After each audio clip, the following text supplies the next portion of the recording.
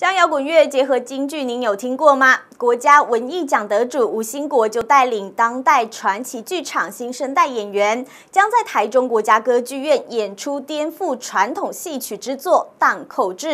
以现代的视角诠释水舞侠义和柔情，将京剧糅合了摇滚、流行、电音、街舞等元素，演绎华丽、苍凉、悲壮的梁山好汉最终下场。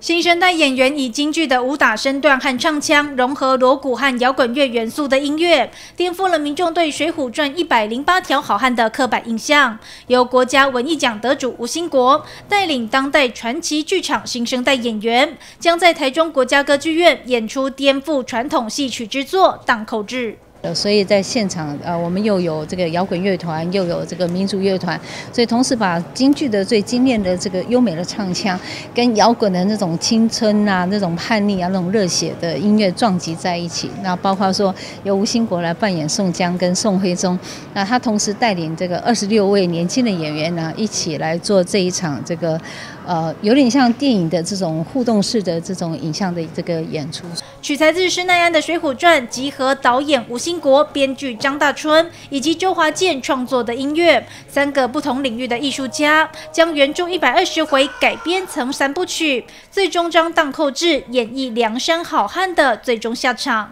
也许是当下太年轻了，不是那么呃清醒，但是实际上这个东西衔接到最后有一点年纪的时候，有一点呃人生的时候，他会非常非常在乎这个道义是非常重要的。那这个道义就会用到正轨上去了。我觉得这个戏的当后字最后其实像想把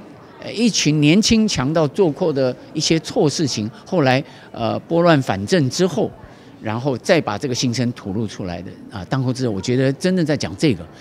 除了吴兴国挑大梁，许多新生代的京剧小将们也都热血上演。演出将在十一月一日在台中国家歌剧院登场，欢迎民众踊跃前往观赏。记者杨宗环台中采访报道。